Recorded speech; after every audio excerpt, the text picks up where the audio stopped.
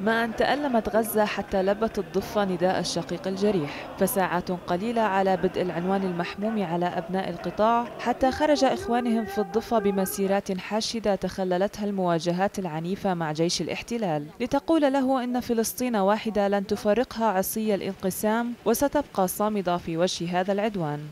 معادلة الآن أمام مستقبل فلسطيني جديد بعيدا عن كل أشكال التراخي والإركان على السياسة بعيدا عن الميدان والميدان الآن ملتهب ونحمد الله أن هناك يعني تجسيد حقيقي وعملي سواء بالعمل السياسي أو بالعمل الميداني.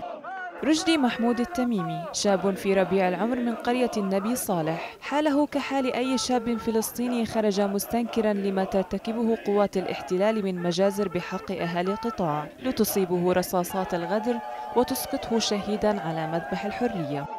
إطلاق النار والرصاص الحي على المتظاهرين وكان من بين الجرحى الشهيد رشدي التميمي الذي نقل على أثرها للمستشفى وهناك تمت إعلان الاستشهاد في مستشفى رام الله.